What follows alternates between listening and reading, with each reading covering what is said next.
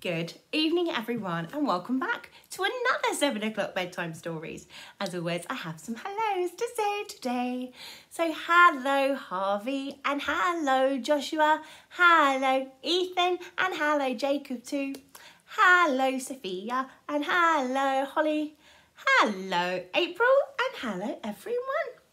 And a very big special hello today to Joey and Jamie because when they saw me in the school playground, they were very shocked because they've been watching the bedtime stories and I've been saying hello to them some days, but then they saw me in real life and they'd never seen me in real life before, so they were like, oh, Mrs. Wood. So hello, big hello to them and thank you so much for watching and I hope you're watching again tonight. So that's not the end of my fantastic day. Sorry, I can just see the camera slipping here. That is not the end of my fantastic day because when I got to school, I was presented with a mysterious envelope. And inside that envelope was a special letter. A letter that read, thank you on the front in these sparkly pens. Don't know if you can see that very well. And when I opened it, it gave me such a big surprise. Look at this. Oh! Blossoming flower. I'm going to show you again. Ready?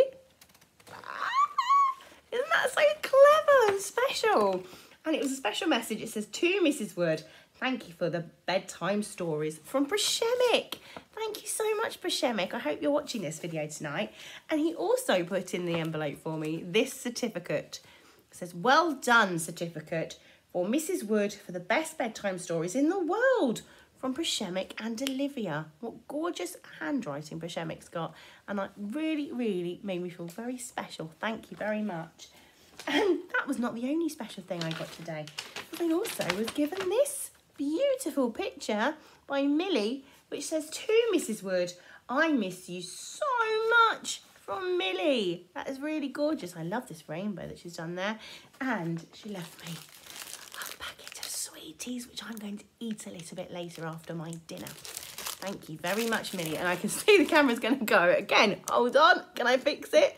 Don't want to have another day where the camera falls on the floor. That's happened before. So that was really kind.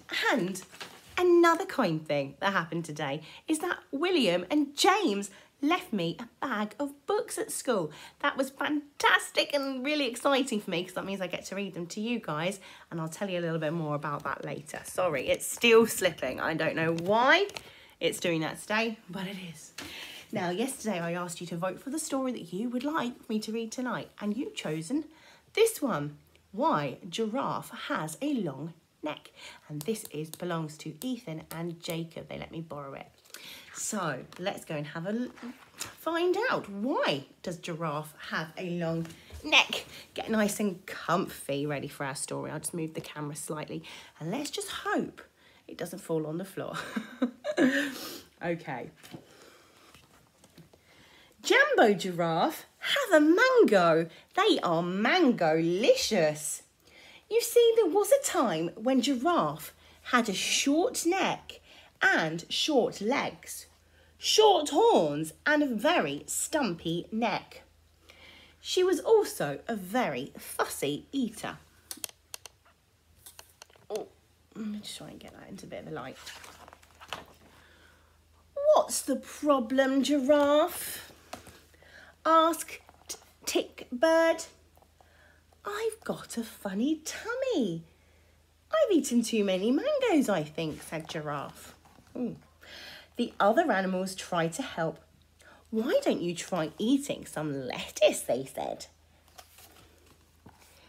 Or eat some grass, said the hippo.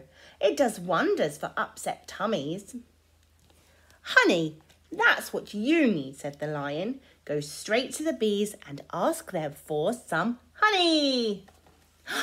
honey? I will go straight to the bees and ask them for some honey.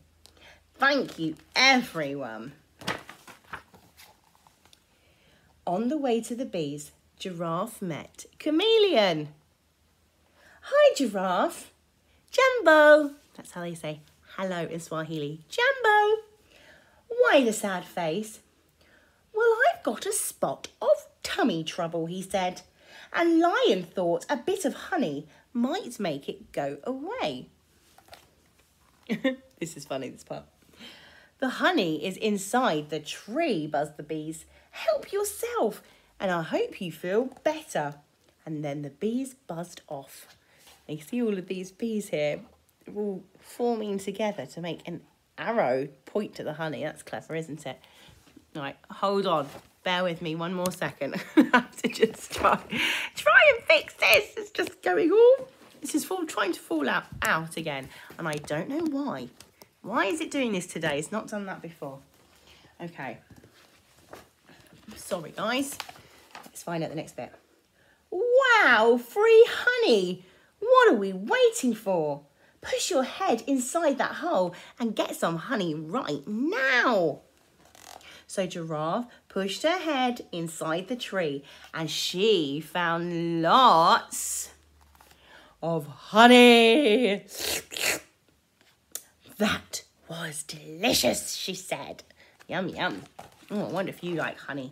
I do. Chameleon, is my tummy rumbling?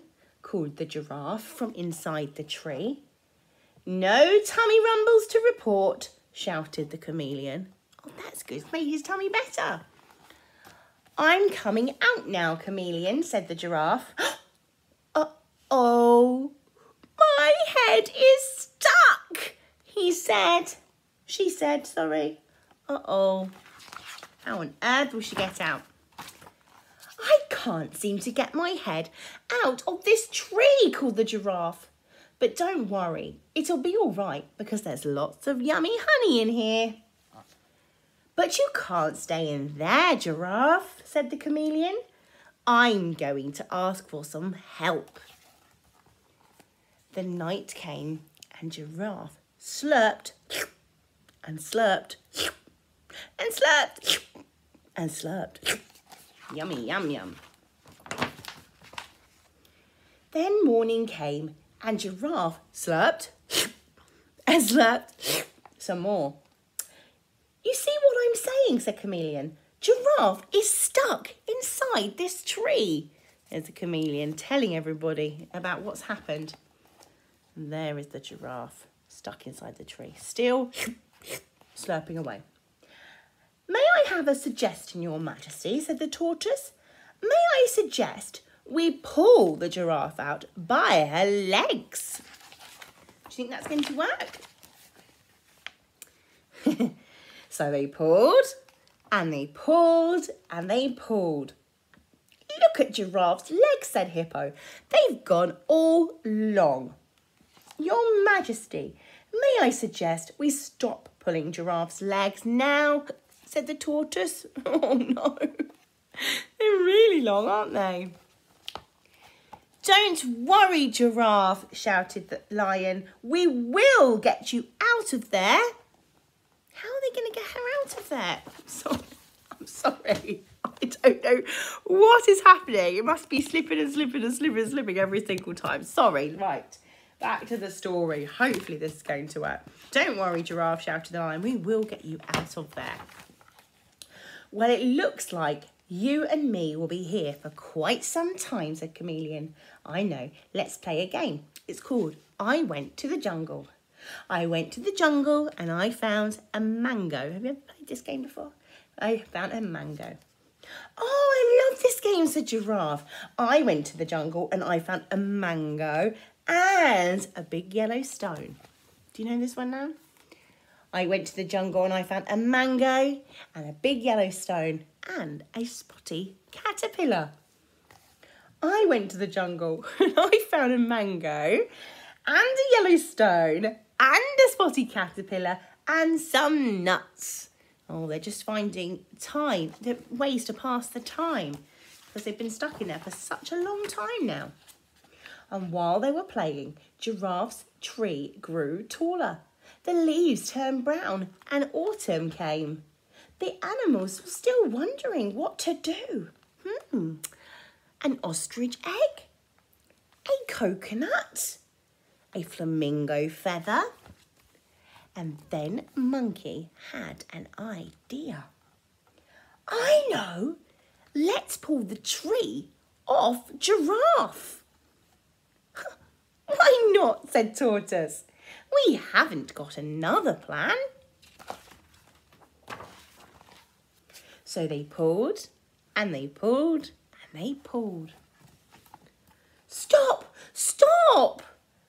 Giraffe's neck is stretching. Oh, is this how he gets his long neck, I wonder?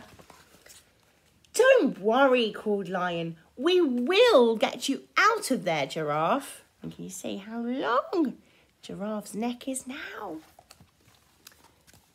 Here we go again, sighed Chameleon. I went into the jungle and I found... Mm, what did he find? And while they were playing, Giraffe's tree grew even taller. All of its leaves dropped off and winter came. An orange and a mushroom. Giraffe, are you all right? asked Tick Bird. Oh, I'm fine, Chameleons. Chameleon's been keeping me company and we've been having a lovely time. they kept on playing and Giraffe's tree grew even taller. New leaves appeared and spring came. An empty seed pod and a prickly pear. Hmm, still playing the game. Oh my goodness, look how long Giraffe's neck is now, said the tortoise. Giraffe, are you still up there? Are you all right? Well, actually, said Giraffe, I am actually getting a bit bored now because I've run out of honey. Giraffe, said Chameleon, you've got to try pulling yourself one more time. Don't you think you can do it? asked Giraffe. Well, you have changed quite a bit now, replied Chameleon. Okay, said the giraffe, here I go. And tall, thin giraffe pulled herself out of the tree. I'm out! I'm out! I'm free, she said. Did you see what I mean? Did you see what I mean? I knew that that might happen today and I didn't know why it was happening, but it happened. Sorry to interrupt the story. Oh no. Back to the story. Back to the story. I'm out, I'm out, I'm free, she said. Oh, you are such a long way away. That's because you are now so tall, called the hippo from down below. Whoop, very tall. well, I'm not sure I have I have a head for height, said Giraffe. How long have I been up here? Three whole seasons and the height of this tree, replied the chameleon. And with her new long neck, Giraffe found her very own food right at the top of the tree that no other animal could reach. Mmm, yummy, fresh new leaves. Delicious. And no more tummy trouble, she said.